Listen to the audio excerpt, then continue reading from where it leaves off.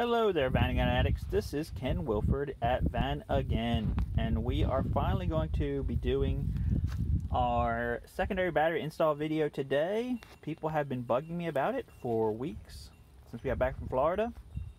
I will tell you exactly why it hasn't been getting done. Number one, we've been waiting on different parts to show up. They have been seemingly taking forever to get here. Number two, I would really love to do this on a day that's nice and sunny so that we could do our solar thing and everything could be fine and dandy. Uh, and today it started out nice and sunny. We got all the stuff out, we got it in the van, we're getting ready to start messing with stuff, and now it's raining. So, I mean, this is what's been happening for the last three weeks. Uh, the other day I saw Noah's Ark float by and I'm about ready to jump, jump on because it has been raining like a tropical rainforest here in New Jersey, uh, except for the part about warmth and like monkeys. That's the part that's missing. So let me kind of give you a look at what's going on here. We've got our 50 amp hour battery. We that completely will go out of focus every two seconds. We've got our uh, special Fontsy battery meter that I got here. That's uh, you can mount here somewhere in the van. It tells you how much voltage you have. It tells you what percentage you got. And it's got this nice little picture of a battery just in case you're not smart enough to know what 100% means. Uh, so, you know, that'll be good.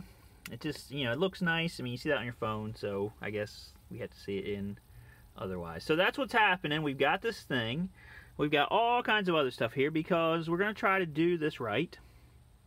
You know, as I've said in the past, uh, we have this battery on our website for sale right now, but the big problem is um, installing it into a Vanagon without the proper charger to keep it charged and maintained. I mean, the alternator of the car is going to have a hard time.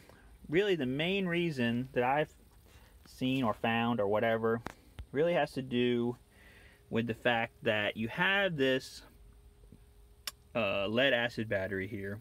Okay, it's made to have a, a surface charge, to have the cold cranking amps. You need to start the car and run the computer and other things in the car, the ECU. Um, and that battery is charged a certain way. That's what the alternator is designed for, to do like an initial super rush of current to charge this battery up quickly and get you out of here, get you on the road okay?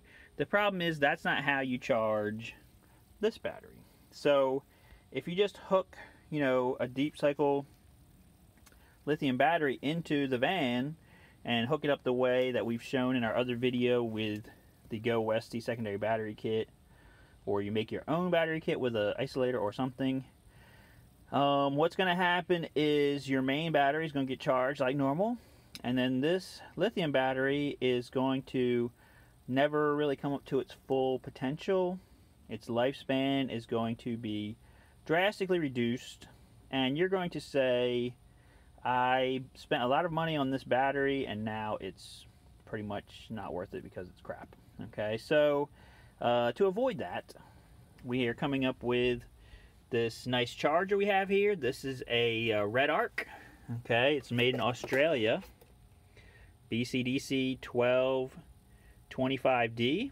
Okay, this is a 25 amp charger and it takes the thing from the alternator and actually you hook it into your starting battery to get like a nice 12 volt um, or actually 13 volt charging thing and it takes that and it turns it into it basically feeds the lithium battery in an optimal way so that as it's charging it it is helping it to last as long as it can possibly last. Uh, the other nice part about this charger is the fact that it has a solar input into it. So you can kind of see, uh, if I get a little closer, you can see these different charge modes. You've got solar, vehicle, and stage, okay? And what it does, it actually, if you have a solar panel hooked into the system, um, it will prefer that over the alternator, okay, as far as your charging or the or the battery, and it will also use both simultaneously. So it can basically give you the full amount of power from the uh, solar panel and the car at the same time. Okay, and try to recharge your battery as fast as possible. This is a 50 amp hour battery. This is a 25 amp charger. Uh, so what's supposed to happen is if this charger is allowed to put out its full amount of charge, it should be able to recharge this battery in about two hours okay out of vehicle driving.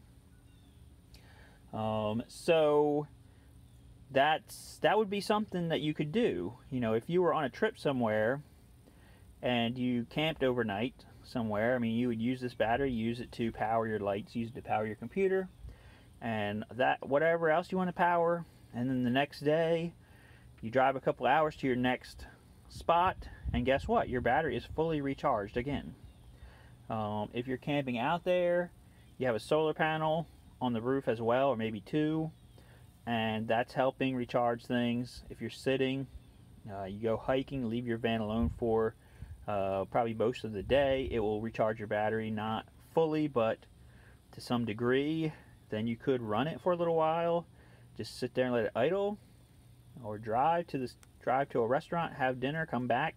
That will also help replenish it. So, you know, these are all things that we're going to kind of do in the next few days, hopefully, um, as weather permits. Get out here, put this thing in, see what it's going to be like, see what it's going to do in real world scenario, and we're going to bring you guys along uh, as I said, this battery is for sale on our site. The charger's for sale. We're going to have a little kit that you can also buy to install this and get it uh, in your van without, with like minimum hassle. So that is the plan.